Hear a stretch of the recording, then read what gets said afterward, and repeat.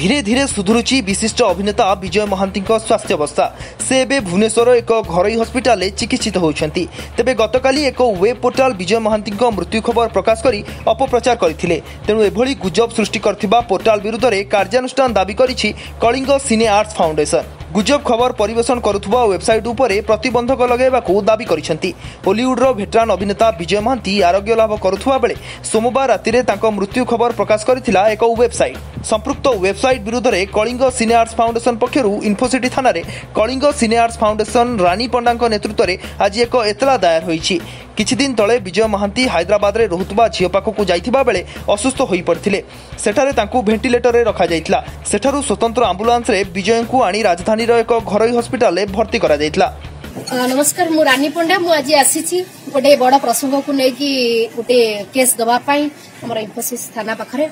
ତ କଥା ହେଉଛି କାଲି ବିଳମ୍ବିତ ରାତିରେ ବିଜୟ ମହାନ୍ତିଙ୍କ ମଲା ଖବରକୁ ନେଇକି ବହୁତ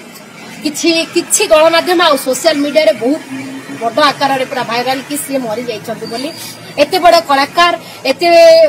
ଆମ ଓଡ଼ିଆ ଚଳଚ୍ଚିତ୍ର ଜଗତର ସିଏ ହେଉଛନ୍ତି ଜଣେ ମାଇଲ ଖୁଣ୍ଟ ସିଏ ହେଉଛନ୍ତି ଜଣେ ଭୀଷ୍ମ ପିତା ତାଙ୍କ ଭଳି କଳାକାରଙ୍କ ନାଁରେ ଯଦି ଏଭଳି ମିଥ୍ୟା ପ୍ରଚାର କରାଯାଏ ଏଇଟା ଆମ ପାଇଁ ଓଡ଼ିଶା ପାଇଁ ଆଉ ସାରା କଳା ଜଗତ ପାଇଁ ଏଇଟା ଗୋଟେ ନିନ୍ଦନୀୟ କଥା ତ ମୋ କହିବା କଥା ମୁଁ ଆଜି ଆସିଥିଲି ଏହି ପ୍ରସଙ୍ଗରେ କେସ୍ଟି ଦେବା ପାଇଁ ମୋର ଅନୁରୋଧ কলেক্টর সারকু ଯେଉଁମାନେ ବି ଆମର ଅଛନ୍ତି ପୋଲିସ ପ୍ରଶାସନ କମିଶନରେଟ୍ ପୋଲିସ ସମସ୍ତଙ୍କୁ ଅନୁରୋଧ